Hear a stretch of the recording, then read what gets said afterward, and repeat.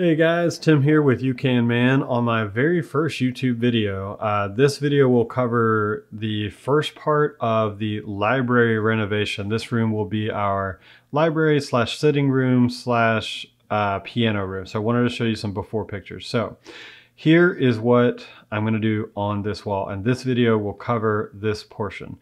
So I'm going to be installing a pocket door on this wall. It is a load bearing wall. So I'm gonna have to install a header here. So this is what this part will look like.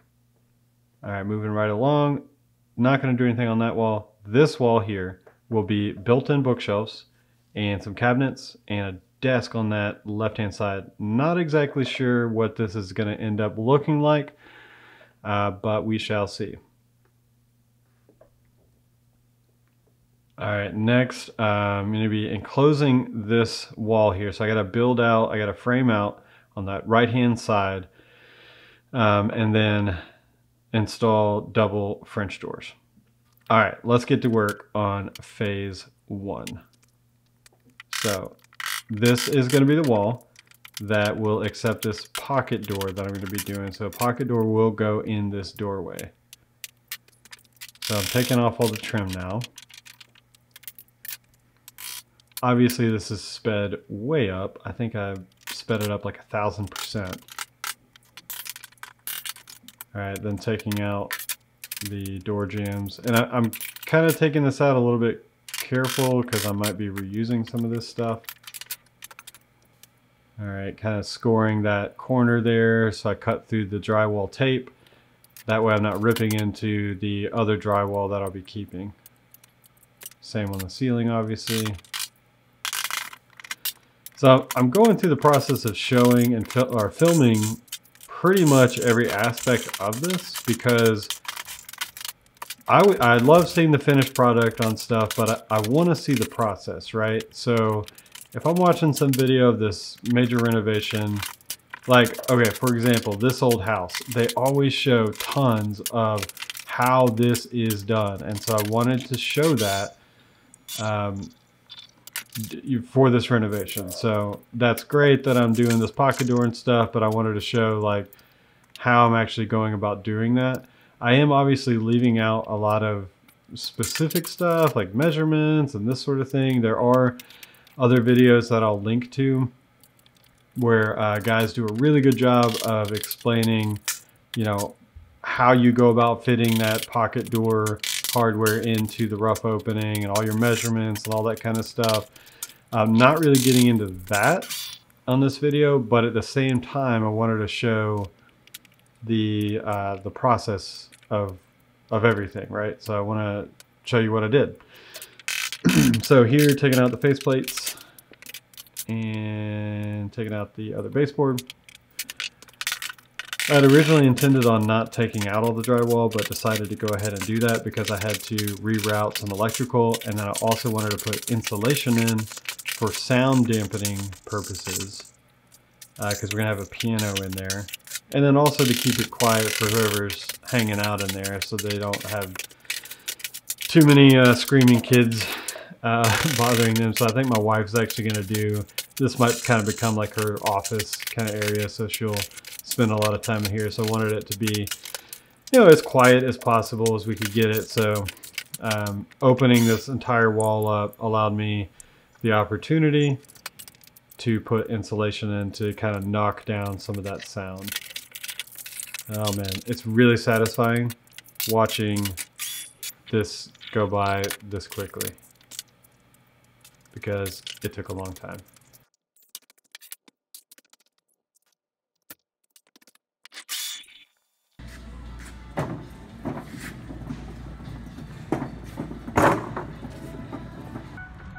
Okay, before we get into taking out that load bearing wall, wanted to show you where the loads are coming from. So I got a roof load coming down and I've got a ceiling load on just this one side, right? So not on the other side of the wall, just on this side of the wall. So what I did is I tied in those roof braces into the ceiling joists and then that way it would be fully supported when I do my temporary wall, which I'm just about to show you here.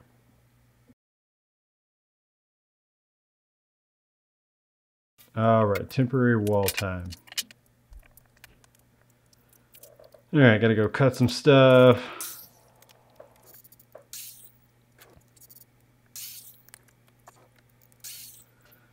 All right, I actually cut these wrong, but I think I had to cut out some video here, but anyways, the basic idea is I wanted to pressure fit everything in. That way I'm not having to use any screws and I'm not going into the ceiling at all.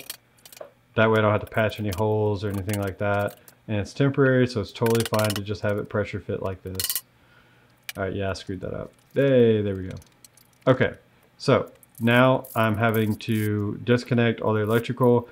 That uh, switch box was kind of in the right place for where the doorway used to be uh, before we did our major renovations back in 2009. So I've actually, I've, I've, worked on this wall before. I don't know if I mentioned that before, but the doorway used to be a little bit more to the right and I moved it over so that that switch needed, it was kind of in a weird spot, right? Because that didn't get moved. The doorway just got moved. Um, anyways, hope that makes sense. So I'm having to move the switch over to uh, where it should be. And then on that left-hand side, those wires there, they gotta they gotta move out of the way because I I gotta have clearance for my pocket door. So what I ended up doing is tucking all those wires into the header. Um, that was an idea my uh, good buddy and neighbor Josh had to do.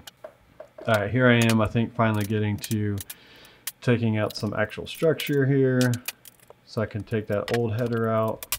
All right, another quick thing too. Um, I'm, I'm trying my best not to mess up the drywall on the other side of the wall. So that way I don't have to do any drywall work over there. So it's possible, you don't have to take all of it out to do this. You could just uh, take out the one side and you should be good.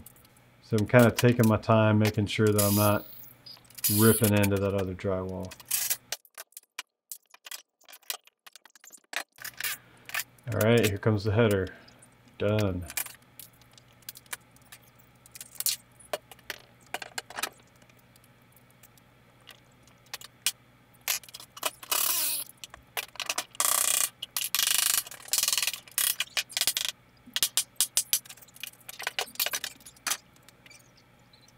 All right, I think I'm measuring for my king stud here. So that that's that's the board that the header is gonna kind of meet right up against. And then you have jack studs, which are gonna hold the header up. so you'll see me doing that. Okay, so with this wiring, like I said, I'm having to, tuck this in and I'm gonna run it through uh, the gap in the header. So the header is made up of two two by eights, uh, or well, yeah, two two by eights with a half inch piece of plywood in between them, right? So I've got a gap there that I can utilize to tuck that uh, wiring up in in the uh, in the header there. Just making sure everything's level uh, for my king stud on that right hand side.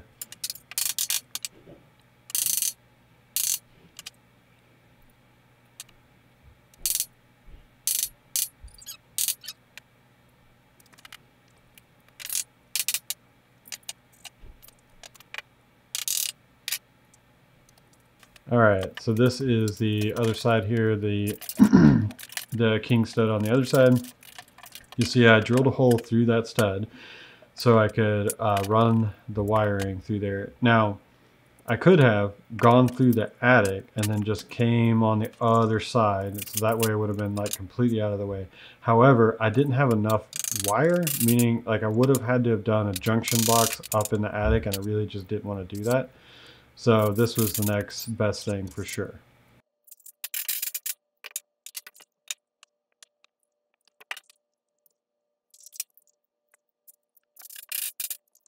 All right, measuring for the header.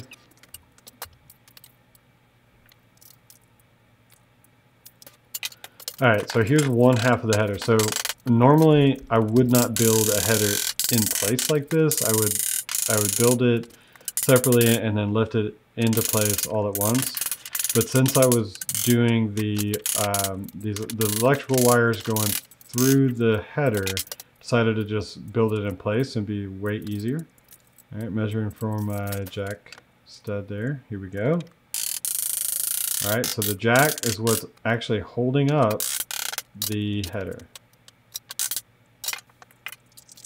and making sure that was for sure level and everything, plumb.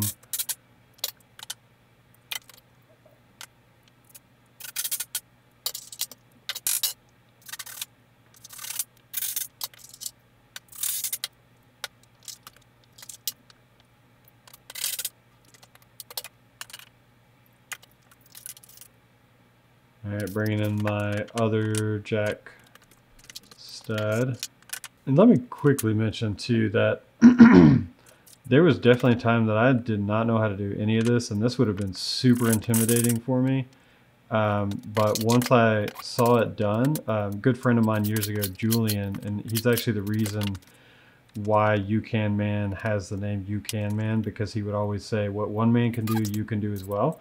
And so that's where the name actually came from. So I had Julian show me how to do a lot of this stuff, including taking out a load-bearing wall. Um, anyways, all that to say, just just as an encouragement that you can seriously do this. This is not something you have to hire a uh, a contractor to do, especially something like this. This is not a huge, huge project as, as far as the load-bearing wall is concerned. Um, it's not that big of a span pretty straightforward. You can totally do this. So uh, right here, I am tucking away all of the wiring and you can see I'm going to sandwich it in between the two um, two by eights that make up the header. And I already put in that half half inch plywood spacer. So that's to uh, build it out to make sure it's the same width um, as the wall. Yeah, I mean, I'm just a normal dude, uh, homeowner. I'm not a contractor. I'm not an expert on really any field. And if I can do this, you can do it. All right, so bringing in my other half of the header here. And I think I was measuring to, that way I can make some marks on there to say, hey, the wires are right here. Yep, I'm drawing on there, caution, wires.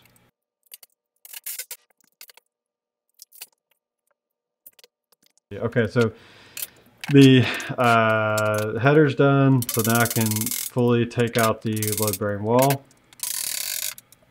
and get to work on the other stuff.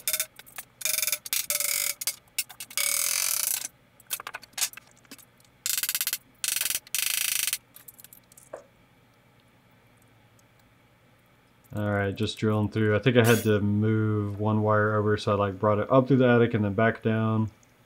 All right, and here I'm showing you that my wife wanted that outlet to be switched, right? So there's a way that you can run wiring to do this, where the bottom switch is um, turns on and off with the switch because we didn't have any um, overhead lighting in, the, in that room, and we're not planning on having any overhead lighting. So I um, made that a switched outlet. So you can do a search on YouTube. Maybe I'll put a link um, down below on a good video to show how to do that. Okay, so like I mentioned before, I'm not showing like every single detail of what I'm doing with the uh, pocket door here. There are other really, really great videos that some guys have done that show um, in more detail um, what I'm doing here. So the kit itself comes, I think, for like a 36 inch door, and my door was a 30 is a 32 inch door, for sure. Uh, so you have to cut the frame down. It's super easy. It's not, it's not hard at all. Um, you do have to cut through some metal, so I'm using a hacksaw here to do that. All right, I'm just adjusting the stop there. And this is a soft close. It's really, really cool. Soft close and open. Um, so if you're going to do this, might as well just spend the extra money and get the one that does the soft close and open. All right, so here I am marking screws that I'm going to put a hole or marking where I'm going to do screws to put the top part of the frame for the pocket door on. All right, using these type screws. All right, I mean, it's easy as that. You just slide it over the screws there, it kind of holds it in place temporarily, then you can uh, make sure everything's level really important that that's super, super level. Because remember, this is, you know, your pocket door is going to be sliding on this. So if it's not, you know, if you got this like way off level, then it's going to just slide by itself, you know, one way or the other. So you, you want to make sure that it's dead level. All right, and use these screws to fasten everything in. I, wasn't sure, I didn't want any screws sticking out, so I used those kind of flathead screws because at that point I didn't know where's the door going to stop and all this stuff. All right, this is um, the part of the thing that uh, that I'm putting in now that the drywall connects onto. So these are supports, but also um, it's metal, but then it's got wood in it, and that's where the drywall connects to. So just kind of showing that. All right, and pretty close to finished here. Uh, I think I'm just going to show the latches that go on the top of the door that then connect to the uh, slider part. Yeah, so here's that. And then I didn't actually film putting the door in. Maybe I'll try to get one of those. But here it is, my daughter trying out the door. Um, yeah, everything's great. So thanks for tuning in for part one. So look forward to part two uh, coming up here.